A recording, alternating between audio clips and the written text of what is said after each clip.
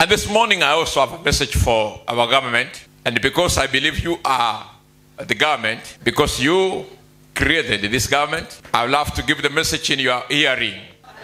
Praise be to God Almighty. Now, let me say this a, few facts. Facts number one is that this government that we have was not brought into being by the number of votes we voted. Anybody arguing about percentages and their contribution in terms of votes is totally misplaced. Unless if we argue that our prayers, our fasting, and our prophecies did not matter. It is your vote that counted.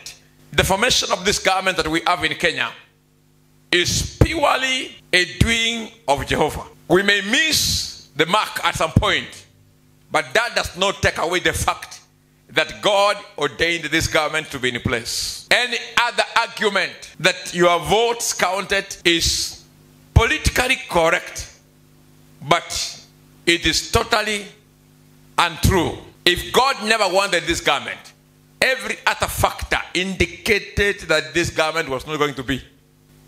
I have observed carefully what's been going on in the nation and the country. I have personally gone to radio and local TVs and even our national television, giving views on my take, on issues of church, and on issues going around the presidency. I gave my opinion and what I think can be.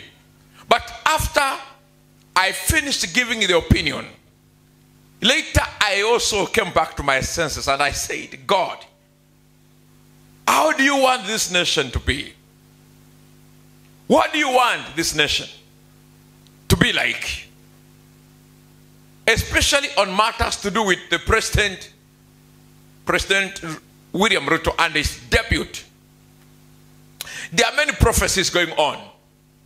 But some of our prophecies sometimes is uh, about is, is, is a question of analyzing polit- politically. You know, like like now when you look at everything you see, the MPs are against, they are in to impeach the deputy president. What we are not asking is whether that is the will of God. What is the will of God in this situation? I asked God, what is your will? The truth is, the deputy president has not presented himself as a deputy president of Kenya. He has singled out Mount Kenya.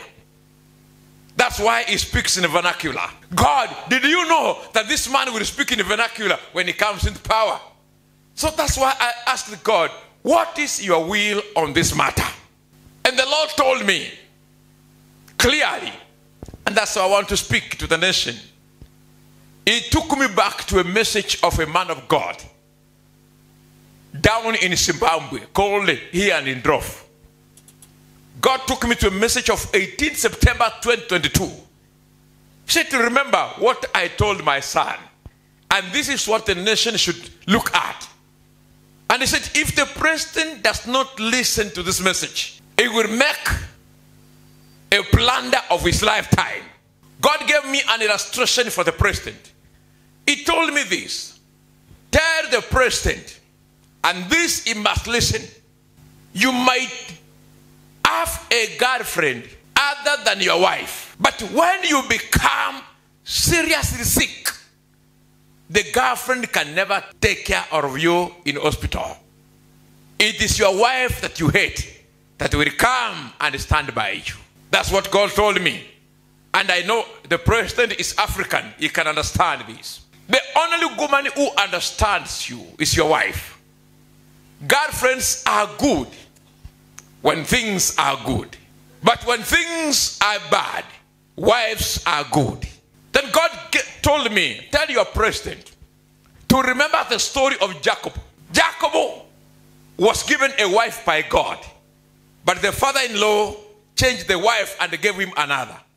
But Jacob had the wisdom to labor for the wife he wanted. Let the president do everything possible within his power to maintain the wife he was given by God.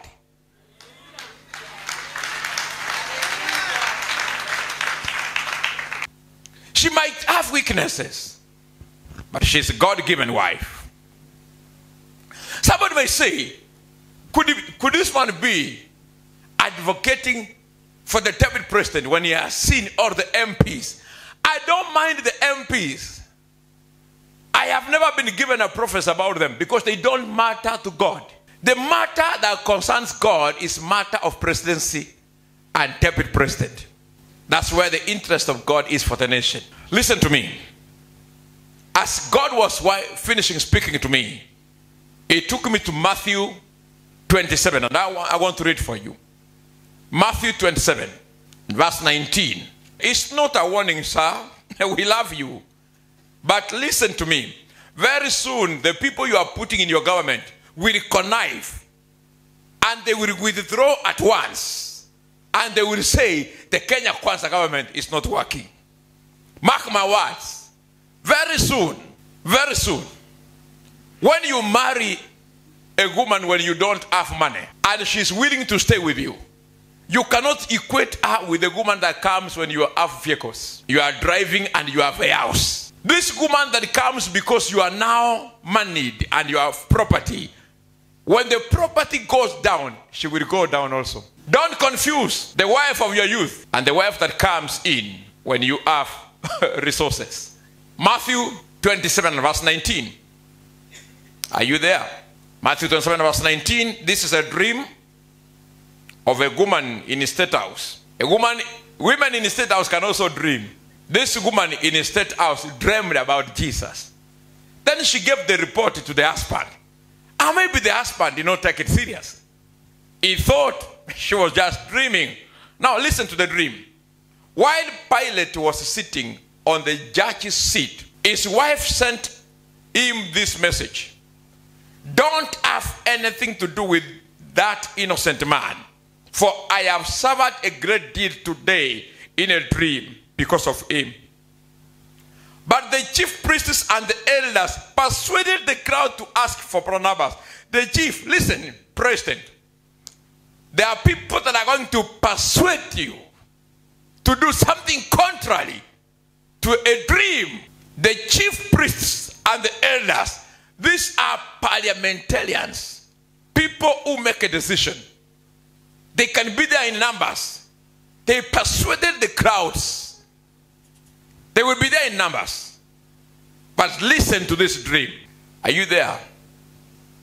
So God is saying the president should find time Listen to the message that was given by God to a man of God in Zimbabwe called Ian Ndlovu.